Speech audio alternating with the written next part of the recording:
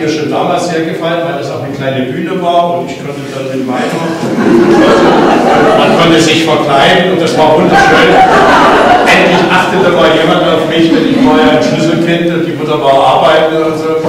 Aber äh, die Schule begann dann äh, und ich die, bin noch so, so anstandshalber wegen der Restverwandtschaft auch noch in die Kommunion gegangen. Äh, sehe mich dann noch in kurzen Hosen äh, und mit einer braunen, äh, äh, braunen Strümpfen mit Leibchen unten drunter und kleinen Steinlein. habe mich dermaßen damals geschenkt vor allem.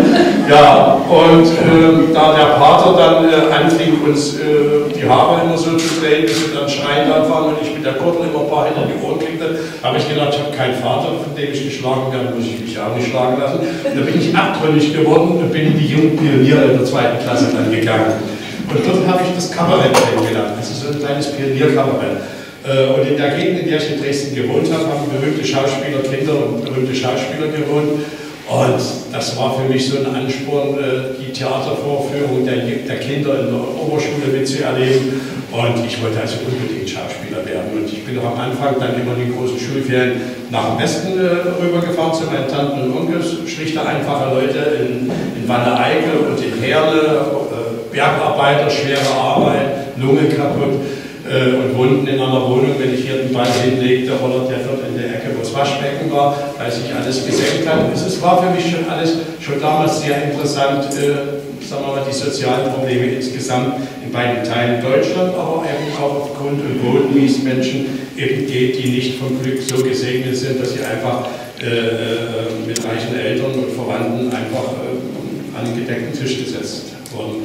Und ich kann mich erinnern, 1961 war ich das letzte Mal in der Bundesrepublik zu Besuch, immer acht Wochen in den Schulferien war ich dort. Und da sagte meine Cousine, zu der ich nächste Woche, nächsten Monat zum 50. Hochzeitstag fahre, zur goldenen Hochzeit, Mensch, bleib doch jetzt hier. Äh, äh, nein, ich sagte, du, ich will Schauspieler werden.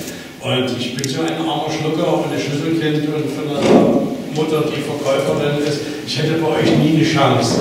Und da bin ich wieder gefahren mit meiner Mutter und das war am 7. August, am 13. August ging die Mauer zu.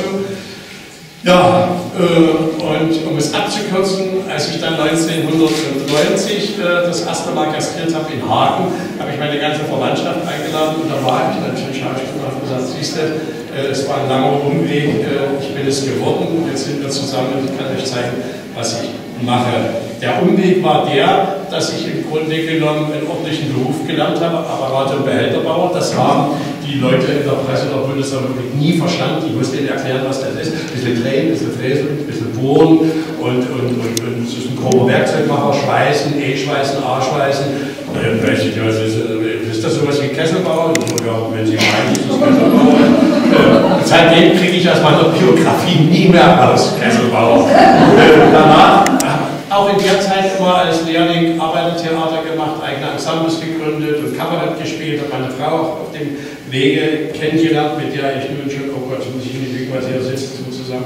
42! Wie viel? 43 Jahre, muss sie sich mit mir schon quälen. Äh, habe ich sie damals kennengelernt und ich wollte damals auch Schauspieler werden. Nach der Lehre hat man mich delegiert auf die Schauspielschule nach Berlin Meiner Frau hat es aber nicht gefallen, dass ich das werden will, weil Schauspieler. Und äh, da habe ich mich überzeugen lassen, trotz Aufnahme und Eignungsprüfung, äh, nicht auf die Schauspielschule zu gehen, aber es war gar nicht so freiwillig. Ich musste zur Armee, nämlich anderthalb Jahre zur NVA und habe dort wieder ein Ensemble gegründet, war dafür auch mal einen Tag im Knast, weil das Kabarett Die Schmiere haben wir uns genannt, bei den rückwärtigen Diensten an der Tankstelle und sind ein bisschen wahrscheinlich ein bisschen ausgeschmiert und ausgerutscht. Äh, und dann habe ich mich beworben in Karl-Marx-Stadt, im jetzigen Chemnitz, äh, weil ich gedacht habe, das machst du immer als Schauspielerei und Kabarett. Äh, und habe mich dort beworben zum Ingenieur am Maschinenbau, Pädagogik, Psychologie studiert, wieder Ensembles gegründet und und und. Nach Dresden auch wieder ein Ensemble gegründet.